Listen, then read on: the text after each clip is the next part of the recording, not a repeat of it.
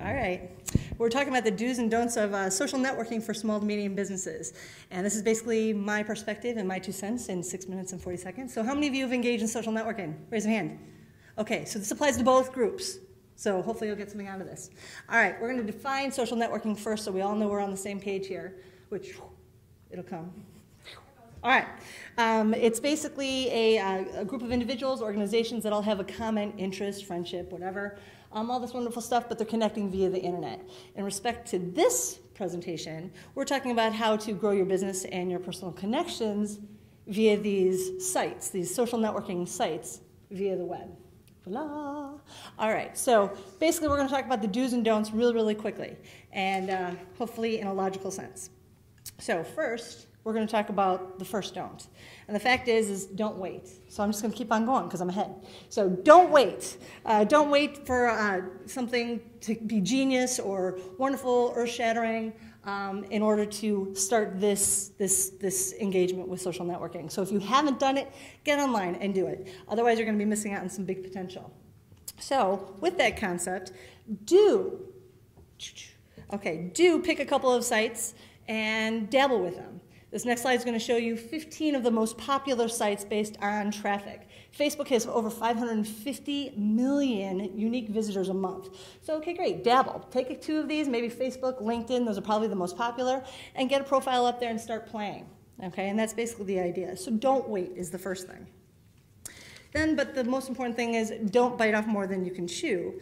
Start small, learn and grow. It takes time to get the experience to figure out what works and what doesn't. So get on as quickly as possible because by the time it, you, you have to be there, it's too late. Everybody's already beyond you and it's going to take too much time to do. So if, the, if something backfires, the key thing is you want to be able to respond immediately. So um, do develop a manageable social networking plan. The key is come up with a um, content calendar come up with some kind of a plan as to how often you're going to manage this.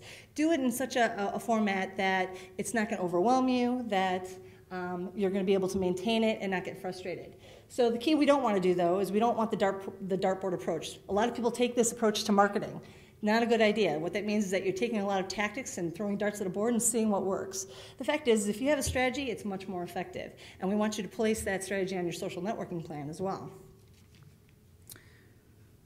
So we're going to ask you to also integrate the social networking plan into your overall business plan and marketing plan. The key is your social networking activities should support your marketing initiatives and efforts. So you want to keep doing that. It's not a standalone marketing solution that's going to save you know, your business and everything like that. But the fact is it's supposed to complement everything else that you're doing.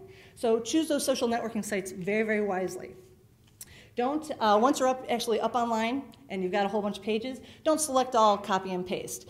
Not all uh, networking spaces are created equal, nor should they be treated as such. Communication that happens with your family at your dinner table is very different than the communication that should happen in a business room with your potential client or your boss. Treat social networking sites the same way. Commit to each environment individually and manage them accordingly. Facebook's a little bit more personal, a little bit more casual. LinkedIn's a little bit more business savvy and a little bit more professional level. So treat the communication and everything that you do in those spaces appropriately. Well, my example was you wouldn't take your yellow page ad and put it on a 30 second commercial on TV. It wouldn't be using the medium to its strength. So the other key thing, don't set your expectations too high. Not everybody hits the big silver bullet the second they go on. So you'll be sorely disappointed if you think that you're going to put a YouTube video up and you're going to get 8 million page views. It doesn't really work that way. It, it takes a little bit longer to kind of infiltrate the system. So the key is, though, is that social networking is very transparent. You've got to be real, you've got, got to be authentic. So You'll be exposed immediately if you try to be something that you're not, and they'll call you on it. Everybody else will, so make sure you don't do that in this space. And the other thing, too, is your clients are looking for information about you to determine their buying habits and, and reasons for buying your stuff. So make sure that everything is cool. All right. Don't preach and just talk about yourself because even in a networking situation face to face, it's really boring and you kind of turn people off. Don't do that in, their, in, in this space either. And I also have a note also, don't talk about politics or things that are, are pleasurable to you unless that is your business because it can you know, backfire on you as well. Um, do engage in two-way conversations. This is a personal thing, okay? Listen to people, respond, enhance the conversation. Don't just push stuff out there that's garbage. Um, and the key too is listening, learning, and responding.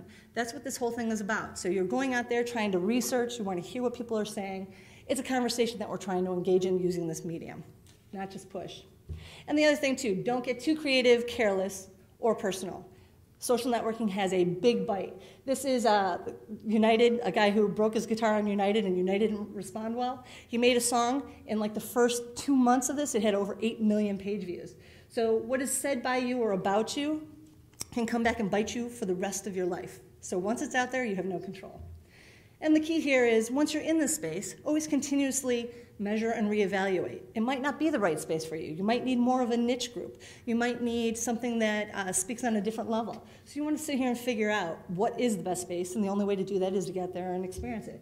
So here's my two cents. Here we go. Start now, don't wait. Plan a strategy that supports your other marketing initiatives. Develop a social networking plan for execution. Pick a couple of sites and start to start with. Build your profiles listen, learn, and apply in everything that you do. Um, measure and evaluate and adjust accordingly. So the key is just get out there and start doing some stuff. So here's my idol, Vince Lombardi. The difference between a successful person and others is not a lack of strength, not a lack of knowledge, but rather a lack of will. This isn't rocket science. It's pretty easy stuff, it just takes time and commitment. So there's our will. And Vince Lombardi's our dude. So there is your social networking moment.